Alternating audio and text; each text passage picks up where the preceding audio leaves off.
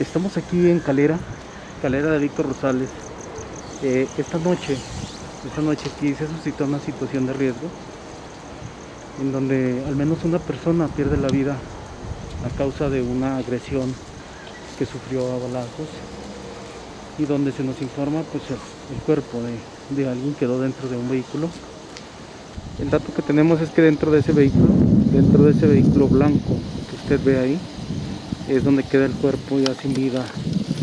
Al menos 17 impactos recibió en su cuerpo la persona y a consecuencia de esto pues pierde la vida. No sabemos de dónde haya sido el hoyo oxiso.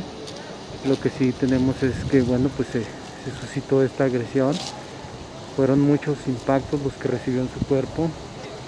Eh, la agresión pues fue brutal y a consecuencia de eso pierde la vida. El cuerpo queda dentro del vehículo, un vehículo blanco.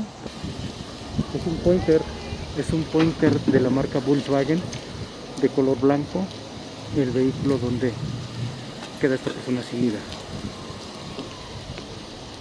Este es el dato que tenemos aquí en Calera, en esta zona, donde pues ya está, ya fue asegurada por las autoridades. Tenemos a la policía municipal de aquí de Calera, tenemos presencia de elementos castrenses, así como elementos de la Policía de Investigación, de la Fiscalía y eh, los elementos de las ciencias forenses, Instituto de las Ciencias Forenses del Estado de Zacatecas, que están realizando el levantamiento de algún indicio que pueda llevarlos al esclarecimiento de, de este caso.